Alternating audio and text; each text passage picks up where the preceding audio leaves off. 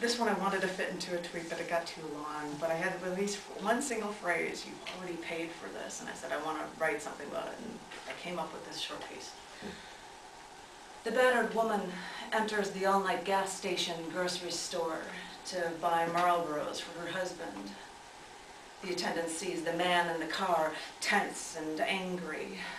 The attendant sees the fitfully sleeping infant in the stroller.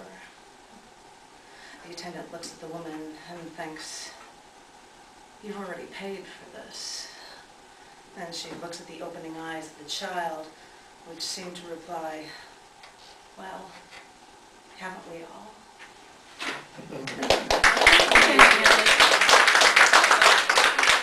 And uh, the single phrase became a tweet poem.